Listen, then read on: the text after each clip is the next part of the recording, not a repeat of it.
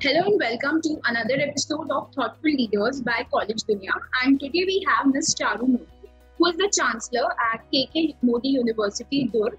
So welcome to College Dunia, ma'am. Thank you. Uh, ma'am, our viewers would like to get a brief introduction about you and about KK Modi University. Sure, absolutely. It'll be a pleasure. Uh, well, um, you know, my passion has always been in education uh, and in making a difference in people's life. And I think partly it began because uh, I I was so passionate about going for an MBA and I couldn't do it for many years, maybe 13 years. I got married and could only go after 13 years to the US to get my master's degree. And I could understand from that longing that to have a really good education, what a platform it is. And when I went to the US and I could see the American model of education, I could see, my God, the world opened up for, for me. Even though I'd done a, my BCom honors from Lady Shri Ram College, it was uh, the, the American way of really uh, giving me confidence and the way the teaching methodology was so unusual that um, it really gave me a step up. And I then spent another five years working in the corporates in the USA. And really, that background of my education was core. So, one of the exercises that I did while I was there with a coach was to say, really, what's my true core passion? And I realized it was education. And my father then said, if that's your core passion, then find a partner, somebody who can, who's in the field of education. Maybe you can bring that system to the United States. And that partner should be at least a billion dollars and it should be really large so that it's really something. Otherwise, why would somebody from the US want to come all the way to India? And this we're talking about nearly uh, 25 so it's not it's a long time back you know to have that vision to say um, uh, bring that and that's what you know our family has done from my grandfather Rai Bahadur Modi and my father KK Modi they've always gone out to seek the best of the best in the world and brought those joint ventures and partnerships to India to really help to build industries in every field whether it was tires or whether it's FMCG or it's schooling it doesn't matter which area you know that's been our motto and so I got my first partner, which was actually the leading uh, university in terms of market cap. Uh, it went up to $13 billion um, in the US. And I began my first American university fully accredited campus in New Delhi about now, I think it's 20 years ago.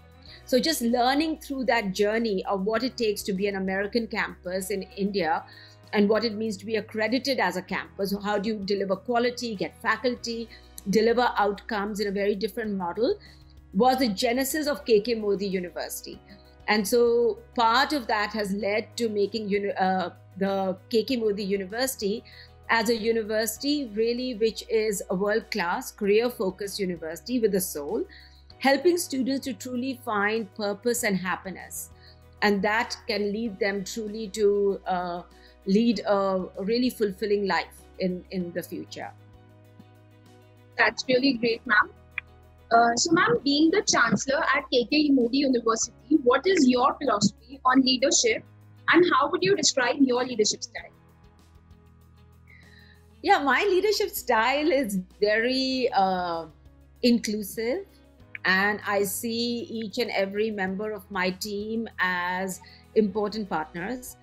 And really, in some ways, um, I know I don't know anything actually. There's very little that i do know. And i it's always a learning mindset. So i think as an organization and as a team we really are constantly learning. We are learning about new methodologies new ways of being new ways even as a team to go higher with our mindset changing our mindset. So it becomes more of a growth mindset and not something that's stagnant or in any way. And so it's very exciting because every day it's new and every day we get new ideas on how to serve our students and ourselves. Uh, so, ma'am, you have held key positions at educational institutes throughout your educational career. So, what are some of the key factors that keep you connected to the education sector? I think it's seeing the amazing uh, stories of my students once they've graduated. I've seen students that have come from villages who couldn't speak any English or couldn't really, uh, they didn't know how to go from A to B. And then they came to Delhi and they, you know, were interacting with a much more uh, urban clientele of students. And now some of those are working in Dubai and they're working, you know, they're sending back huge amounts of money to their families. So it's just seeing the transformation I think, in students' lives to see that what if you gave them the right platform and you gave them the right tools, what is possible. And we've I've done that also in another venture of mine where we send nurses to the United States. And we've sent about 70 nurses to the United States uh, from Kerala. So really seeing, and many of these now, my gosh, they are earning $70,000 in the US and their children are all uh, doing, you know, masters and so it's really that transformation of seeing what somebody what they could earn in india and really what it is that uh, they can earn here is just amazing if you gave them the right platform. So i think that's what's really uh, exciting and what's really amazing. Uh, ma'am being the chancellor at kk modi university how do you strategize the marketing and administration plans for the university yeah, it's mainly through partnerships. You know, a lot of it is through partnerships. We have our partnership with College Dunia. We have uh, many other partnerships. Uh, it's a lot of referrals. It's a lot of going out to the market uh, where our teams go out to the schools and to the universities and actually give presentations. So it's a lot of word of mouth. Uh, when we were running my American University campus in Delhi, I think it was at least 50% of our students came from referrals. And we had students that came from 47 countries. And we hadn't even ever gone to those countries. You know, so really what the product and actually the outcomes of the product sells itself uh, by itself. And of course, then you have your partnerships that really help to uh, get the word of mouth out uh, to everybody to really tell what is it that we are doing. Uh, ma'am, how does the curriculum of KK Modi University ensure the best practice in the industry? I think it's because, you know, we've got our five pillars. And our five pillars that we've got are really first pillar is really internationalization. And what I mean by that is we've got uh, international university partnerships with some of the best universities in the world, you know, whether it's UC Davis, which is an Ivy League, with Virginia Commonwealth University, with Stratford, whose campus we've been, you know, having in Delhi for the longest while, or it's in the Paris School of Art, or it's in Lucerne University in Switzerland. So it's really getting the pedagogy, the partnerships, and the technology from the universities that we have partnered with. That has been one of the foundation stones to make sure that we are cutting edge you know. And then also uh, we have partnered with industry. And in the industry what we've done is that we are going back to the industry to say really if you had to hire from the universities what is it that they lack? What are students lacking? And you know you've got amazing reports that have been done by ernst & young. Cii has done an amazing report in chhattisgarh uh, where it has done a huge study on what have been the challenges of all of the schools and universities in Chhattisgarh. And we really, you know, absorbed that. Okay, it's a Hindi-speaking belt. There is no practical education. They don't know. Uh, they lack the communication skills and the personality development. And so those have become like core pillars of our model to make sure that we can deliver into that. So we've increased uh, English as one of the, we probably do about six courses in English, uh, part of every degree, so that English is now a language, so that students can really learn that. And of course, a lot in terms of presentation and practicums. So it's really looking at these pillars. And we've of course partnered with ibm we've partnered with a lot with harvard university. So we've got the updated latest case studies the latest simulations so that's our third pillar and then the fourth pillar is the pedagogy in terms of, actually, we call it andragogy, uh, which is truly the way of teaching in the classroom because our class hours are four hours divided with two breaks. But it allows the students to at least give presentations for 50% of the time. So instead of the faculty talking for the full uh, hours of the course, 50% of the time the students are presenting. And through that presentation in every course, so if you've got a bachelor's degree of 30 courses or a BTech degree of 40 courses, you're making presentations in each and every course. So there's no way that by the time you graduate, that you will not be confident and you will not be able to actually present your point of view. So that's a really key pillar.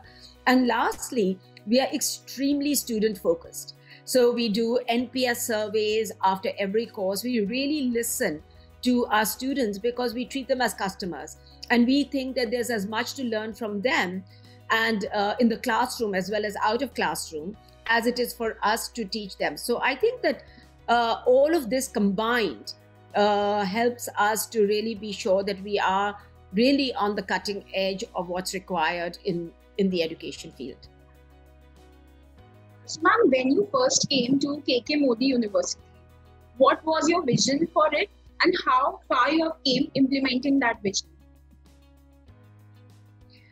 My vision was really to offer something that's going to be of long lasting value to the state of Chhattisgarh and to the students that are from that region, to the industry over there, to the communities over there, that in some ways we can make a difference uh, by by being there by our methodology and by what we deliver to the state.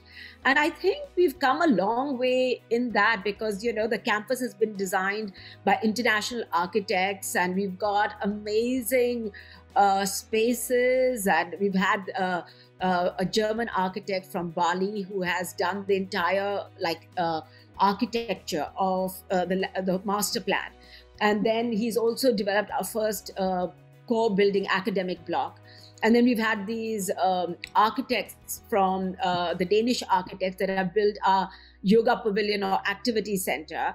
And so, you know, we've had all of these amazing uh, uh, pieces of architecture that have been created. And they really come out amazing. So I'm really pleased. It's just that the pandemic has not allowed our students to come really and to study in the campus, but they're doing it all online right now. But I'm hoping soon that, you know, the buzz of the campus will be just one of the things that people can come to learn at to say, wow, this is really a way to build an amazing campus. So I'm really happy. I'm happy with our progress. I'm happy with our pedagogy, with our we finance, uh, you know, we fine tune what we've learned for 20 years with our American campus in Delhi. And I think what we are delivering in Chhattisgarh is even higher than what we have we delivered in Delhi. So students are getting the American style education at a fraction of the price. So it's it's really, to me, it's real value add. Uh, so, ma'am, uh, according to you, what are some of the top priorities for KK Modi University over the upcoming 10 years?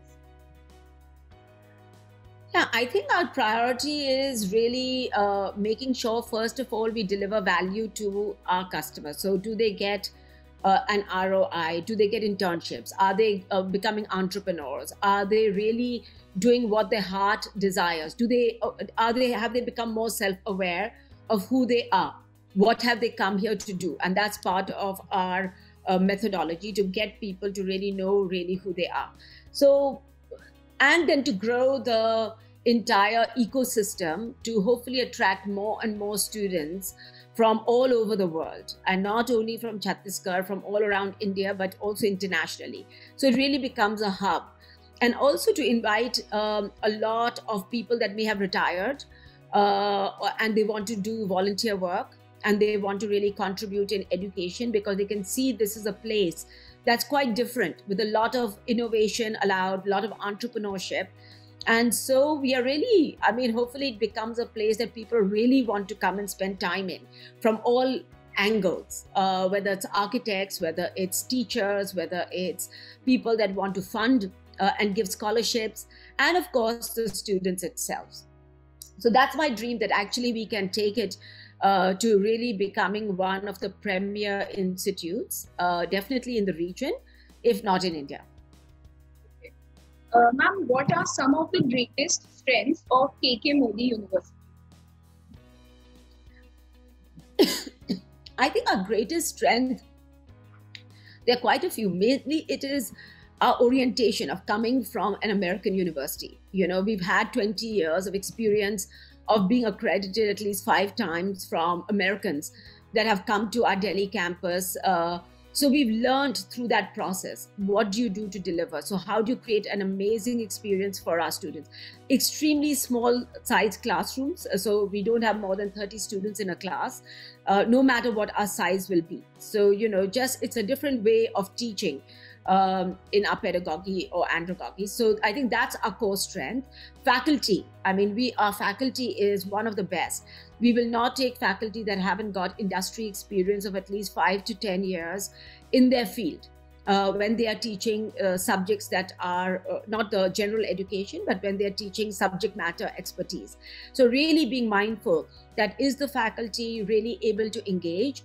And we do a full NPS, which is, you know, the Net Promoter Score, which we take from students to really understand that did the faculty wow.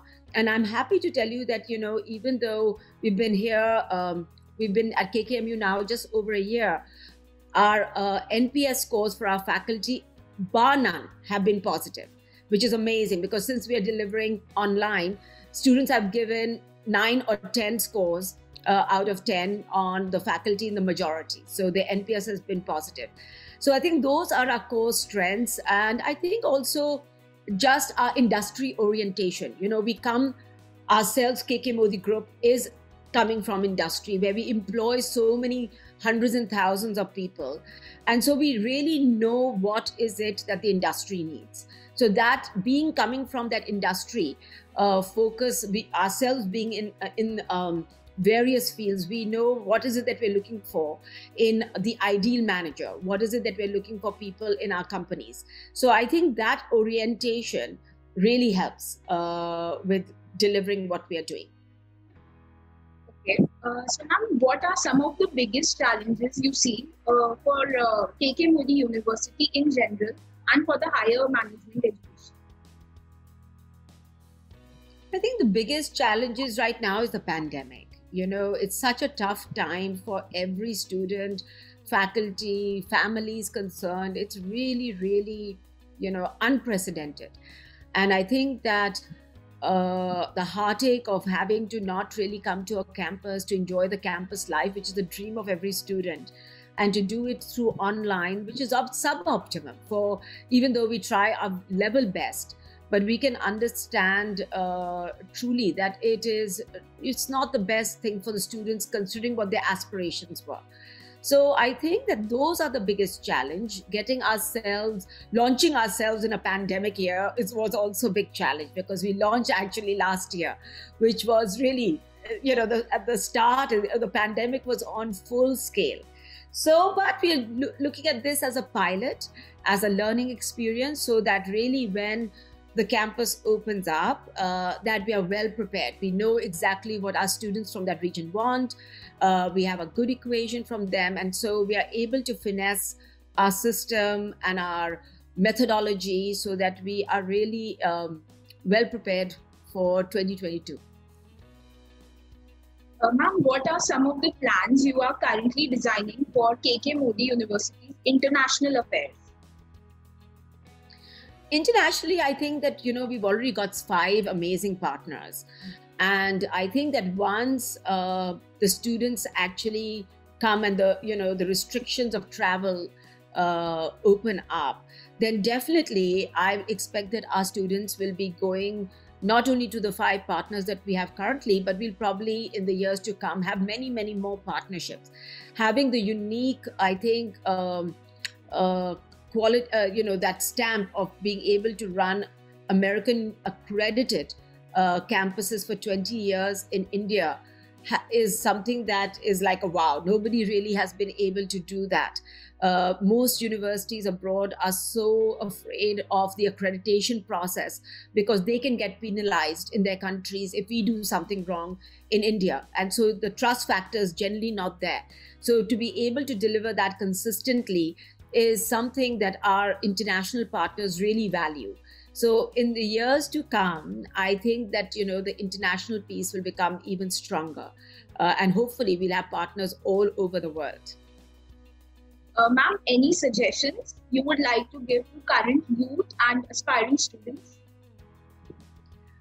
I think my suggestion is that you know even th- when things are difficult, uh, whether it's course curricula or you have to learn some new skills, uh, students at times are scared and hesitant, or they are feeling that maybe they should wait uh, till the pandemic is over and then only really engage with universities. But my invitation is don't waste time. You know, even learning through an online medium uh, is very rewarding and it really can give you new skills because the work culture today is is such that you will be having to work with maybe teams that are online in different geographies and you'll have to have these skills in the future. So might as well begin these skills in a very safe environment and really embrace things that you don't know.